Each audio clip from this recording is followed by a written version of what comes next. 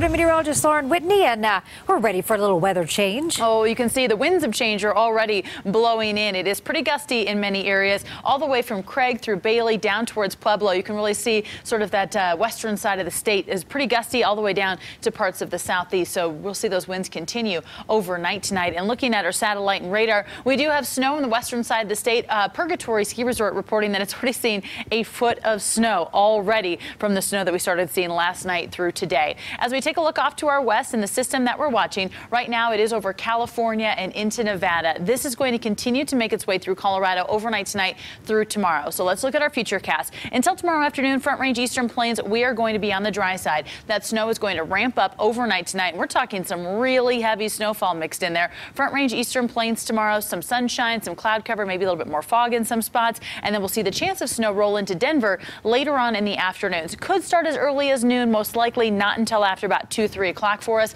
And then we'll see that move on through. And then it should quickly clear late night into Wednesday. And then we do have some snow expected out on our eastern plains. There is a slight chance that there could be some flurries still sticking around with us on Thursday morning. But most of it does look to clear out late uh, Wednesday night into Thursday morning. So we have winter weather advisories, parts of the eastern plains, Yuma, Kit Carson, Cheyenne counties, about two inches of snow, but there could be some icy conditions, a little ice glaze mixed in there with that. So watch out. Our corners, we're looking at about two to four, five ish inches of snow heading on in here to the front range. We do have a winter weather advisory in place tomorrow. The Denver area, maybe two to five inches. Some areas could see a little bit more, some areas maybe a little bit less, but somewhere in that range is possible. So Wednesday evening's commute may be a little bit messy. We've been used to some morning commutes that haven't been so fun, but tomorrow night could be a little bit tr tricky. On the north side of town, heading towards Fort Collins, Estes Park, Rocky Mountain National Park, we're looking at maybe about two to uh, six inches of snow, maybe seven in some spots. And then as you head towards Frisco, Winter Park areas, maybe about three to eight inches. And we have a lot of snow headed for some of our western mountains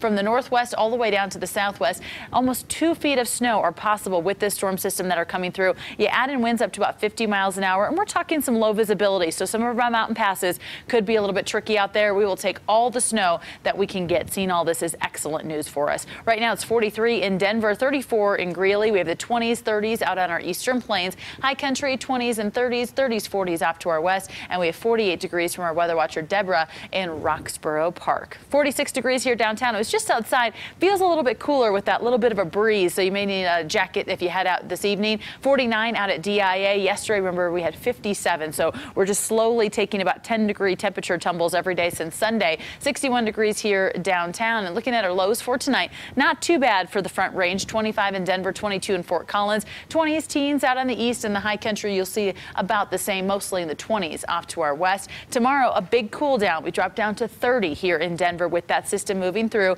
30 in Fort Collins. We have the 30s out on our eastern plains. Our southeast still in the 50s and 60s, 20s in our mountains. And for your five day forecast, 22 on Thursday. So we get a lot cooler around here. We're talking single digits overnight into uh, Thursday. And then we'll be a little bit uh, warmer by the time we hit Friday. I know it's going to be cold because my mom is actually coming on Thursday. Every time she comes, it drops down to the teens and 20s, and she hates it because she's from Phoenix. So uh, that's why I know it's actually going to get cold around here. It's all her fault. Just when I was getting used to this nice weather, too. I know. All right, mm -hmm. thanks. Sports is